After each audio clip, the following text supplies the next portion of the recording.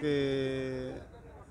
yo sé, yo sé la clase de persona que soy, igual también obviamente agradecido con todos mis compañeros, con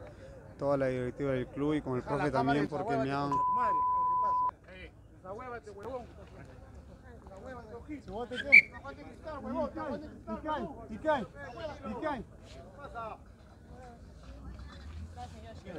me